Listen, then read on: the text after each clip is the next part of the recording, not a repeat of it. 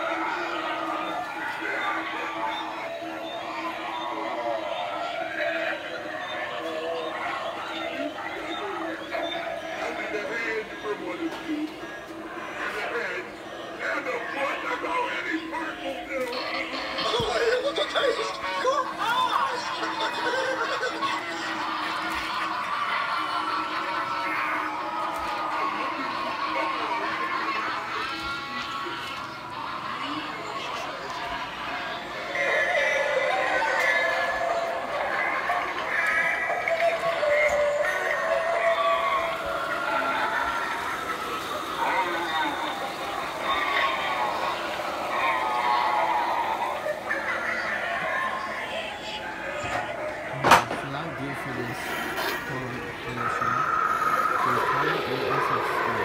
um,